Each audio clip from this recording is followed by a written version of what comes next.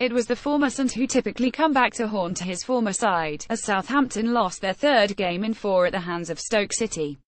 Peter Crouch's 85th minute tap-in turned out to be the decider, as Virgil van Dijk's first start in nine months was ruined by a plucky Stoke side. Despite being without Jesé Rodriguez, Mark Hughes was able to field several players who were nursing knocks, with Kevin Wimmer and Geoff Cameron making Stoke's defence much more sturdy. The Potters' win takes them level on points with the Saints thanks to a tally of eight, that sees them 13th with Mauricio Pellegrino's side above them in 12th.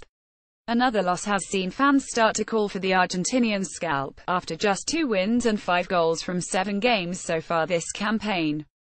Stoke-on-Trent, England, September 30. Peter Crouch of Stoke City celebrates scoring his side's second goal during the Premier League match between Stoke City and Southampton at Bet365 Stadium on September 30, 2017 in Stoke-on-Trent, England.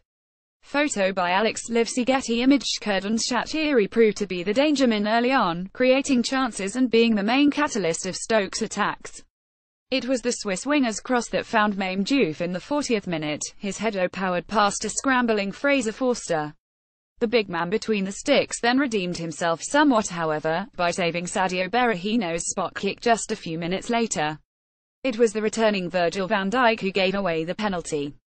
Southampton finally got back into the game in the second half and brought themselves level through an impressive volley from Maya Yoshida after a cross was deflected into his path.